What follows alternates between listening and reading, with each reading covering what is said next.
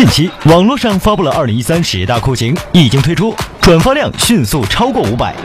在这份榜单中，挤地铁位列第九位。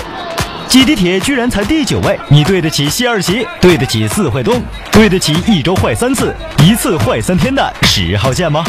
对得起下面这些位用生命在地铁上想引起我们注意的人吗？今天我们就为大家带来了十大感动地铁奇葩人物。这位大叔。一看你天资聪颖，骨骼清奇，就知道你是闭着眼练魔方的奇才呀。只不过他旁边这位知音到站不得不下车去了，最后这位魔方大叔也只能自娱自乐了。忙完魔方大叔，眼球指数一星。玩魔方的动作幅度太小，很多人难免注意不到。如果是瑜伽这种大幅度的动作，显然会让更多人成为你的观众。不过，由于瑜伽是一项低调的运动，因此还是有所不足啊。瑜伽组合眼球指数一星。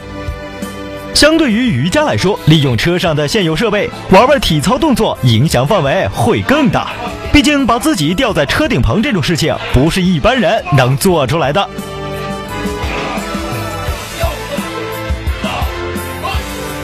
体操少年眼球指数一星半。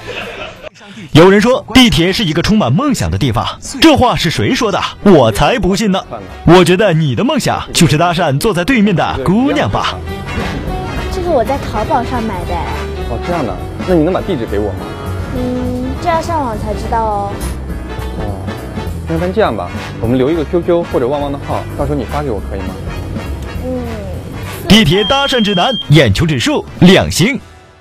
一般来讲。声音比动作更容易传播，所以如果在地铁上唱歌，那么你就很容易成为乘客们的焦点。船口站到了，二。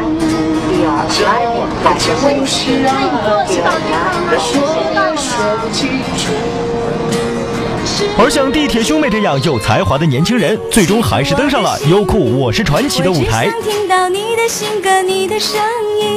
我衷心谢谢你的厚爱，你的真心。我会把这一个瞬间用音乐送给你。地铁兄妹眼球指数两星半，在某些时间段地铁不会太挤，而偏偏有些人这时候又会觉得无聊。针对视频中的这种行为，我们也只能默默的无语了。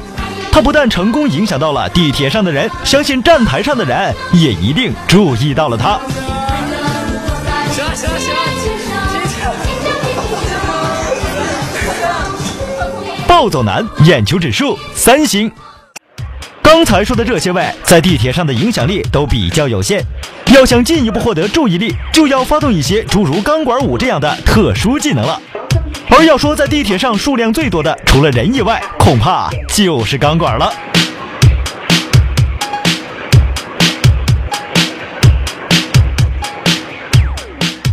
钢管舞男眼球指数三星。对于下面这种行为，我代表组委会表示鄙视。为了吸引眼球，不能这么没有节操和下限。据说现场有多名观众表示自己已经坐过了两站了。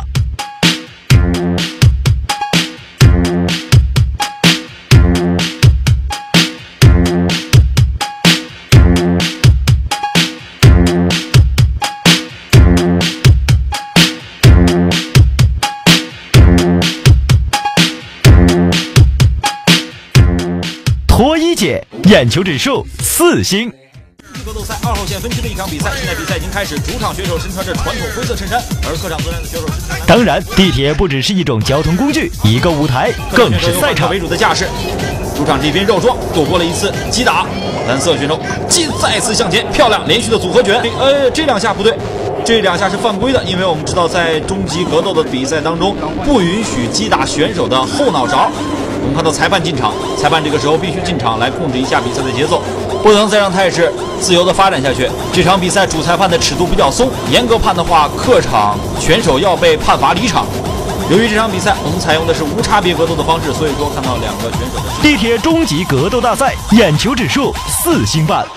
当你在地铁站遇到正在逃跑的歹徒时，要怎么办？这位堪称中国好脚法的哥们儿告诉全国人民：中国足球不行，但是我行。中国好脚法，眼球指数无数个赞。